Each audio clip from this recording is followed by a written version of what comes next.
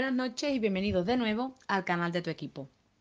Un derby muy atípico el de este año donde los de Pellegrini no se vieron alentados por las 50.000 gargantas habituales que empujan al equipo en las situaciones más difíciles y presionan al rival en las ocasiones de gol para llevarlos a error.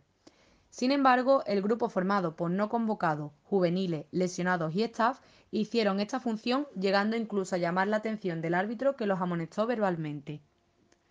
El encuentro comenzó muy parejo y aunque ambos equipos tuvieron ocasiones, no fueron lo suficientemente claras. Esto se vio reflejado en el marcador, puesto que ambas escuadras se marcharon al descanso con el marcador en cero. No fue una primera parte agresiva tampoco en cuanto a falta, en comparación con a otros derbis.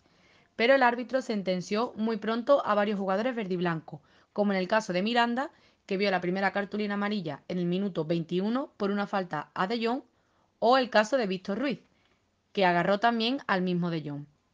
Las dos ocasiones más claras de esta primera parte vinieron de parte del Betis en las botas de Fekir y Canales.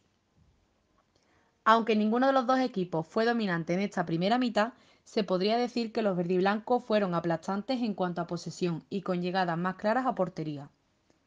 En la segunda parte, los de Lopetegui salieron bastante enchufados y ya realizaron los primeros cambios, introduciendo en el campo a Rakiti y a Enesiri por Oliver Torres y De Jong respectivamente.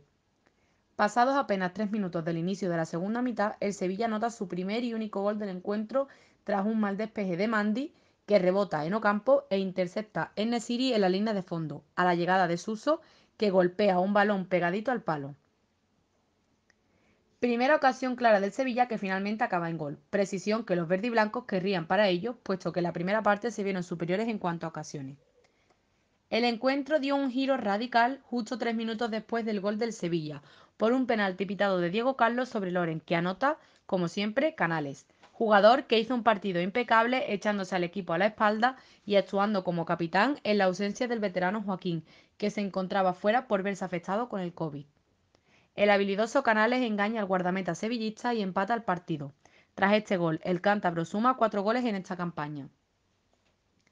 Tuvo ocasión el Betis de ponerse por encima en el marcador a lo largo de la segunda parte, al igual que lo podía haber hecho el Sevilla, puesto que los defensas verde y blanco volvieron a cometer errores imperdonables que en otras ocasiones les han llevado a gol, pero que en esta ocasión Bravo pudo remediar sin demasiadas complicaciones.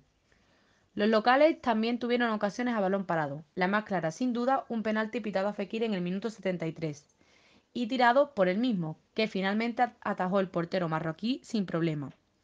Este penalti no fue señalado por el colegiado, pero el VAR dio la razón a los verdes y blancos en esta ocasión y tras la respectiva revisión en pantalla del Cerro Grande, sentenció penalti a favor de los de Pellegrini.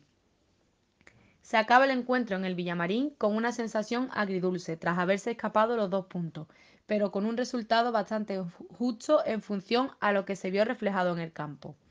El derby se queda en tablas y tendrá que resolverse en la segunda vuelta.